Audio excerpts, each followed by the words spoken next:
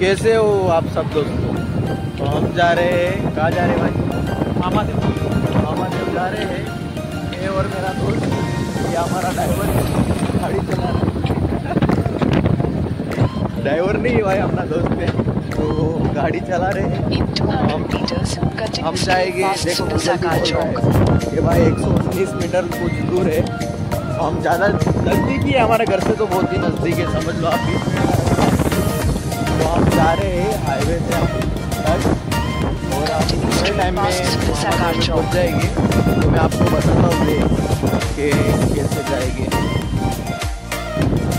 ये है सिरवी देवत चार रास्ता पुलिस स्टेशन Continue for 5 और अभी खाली 22 किलो 22 किलोमीटर दी बाकी है। और और ये अपना थोड़ा टाइम ही में पहुँच जाएँगे। ये सब बीच में दुकानें आती है और अभी सत्यम भाई आपको बताएँगे। गाइस लुक एट दिस ये जो आप रेलवे की पटरियाँ देख रहे हैं, यहाँ पे मतलब आज से दो साल, ढाई साल पहले कुछ नहीं था, ये पूरा प्लेन था। अभी यहाँ पे ये रेलवे की पटरियाँ अलग से बिछाई हुई हैं। ये दरअसल नेशनल फ्रेट कॉरिडोर के अंदर आता है, जो Delhi Mumbai national freight corridor है। मालगाड़ी वगैरह मतलब ये पैसेंजर गाड़ियों के साथ इनलाइट होके नहीं चलेगी मालगाड़ियाँ, उन वो अलग से ही जाएँगी, जिसकी वजह से इंडिया में ये जो डिले आता है और डिले की वजह से जो महँगाई बढ़ जाती है, वो अब नहीं होगी, क्योंकि फ्रेट गाड़ियों के लिए अलग से कॉरिडोर बनाया जा रहा है। ये आप देख सकते हो, ट्रक को कैसे ऊँचा कर दिया है। बनाने के लिए।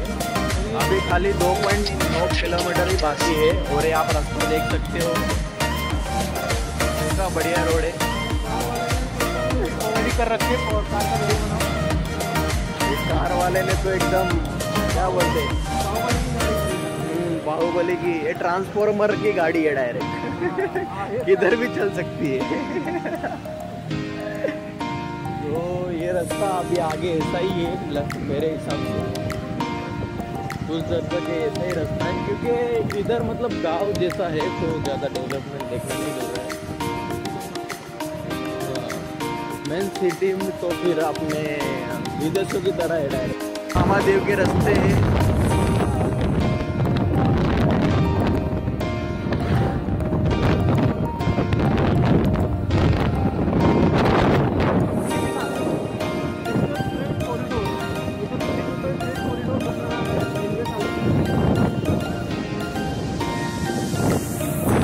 हैं नेशनल कॉरिडोर है। देख सकते हो।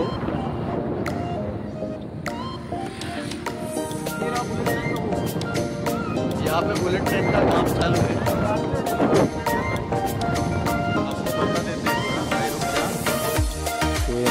तो मंदिर है।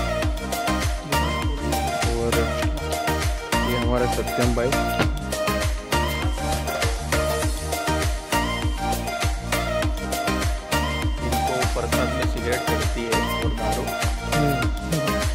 हमारे भाई भक्ति कर रहे हैं। बोलो जय मामा देव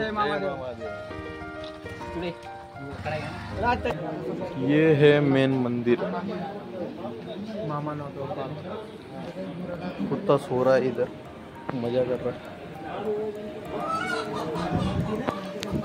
काट लेगा भाई।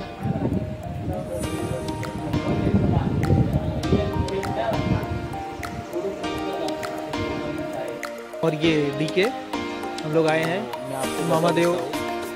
ये कुछ बोल रहा है? तालाब है और ये मामा देव का पुतला। और ये मेन मंदिर है। और ये आजू बाजू का एरिया प्लेस है। आप देख सकते हो उधर बैठने के लिए भी अच्छा है। उधर वो कुछ लोग अपनी महफिल जमाए हुए हैं। वो बात अलग है और ये पूरा गाँव जैसा ही है। और कुछ नहीं। प्रकृति की गोद में आए हैं हम लोग आज। तो चलो भाई। ये आप देख सकते हो, पूरे नज़दीक से। हमारी कैमरे में जितनी कैपेसिटी है, उतना कैप्चर कर देते फिर आगे का पता नहीं।